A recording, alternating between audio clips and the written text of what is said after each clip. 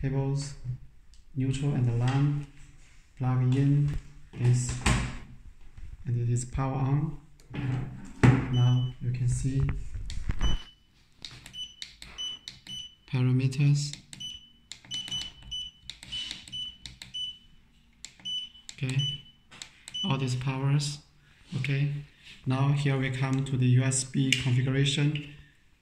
This is RS485A and B terminals. Plug in A, B, white, black.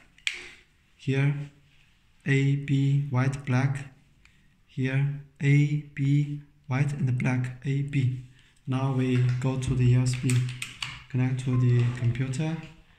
Now here is our configuration tools. You can click to get it connected. Click to open. Firstly, you need to connect this open and now it is already connected. You can do this control, switch on, switch off, switch on. It's very simple. 只对这里，只对这里。Now switch on, switch off. Very simple. 一直这个啊，一直这个角度啊。Read. So you can get all this read, read all this data and write. This is a network.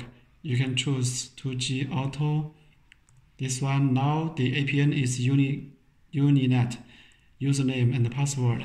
For some countries, your APN you can type in whatever it is. Uh, for example, telephone,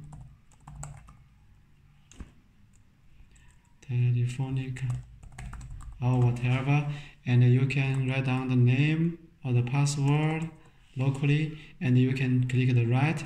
It will be right right inside.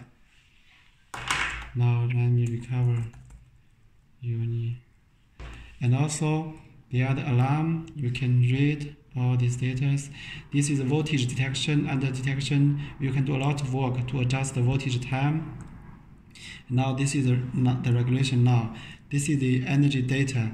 We can read all this data, current voltage, uh, reactive power, and everything.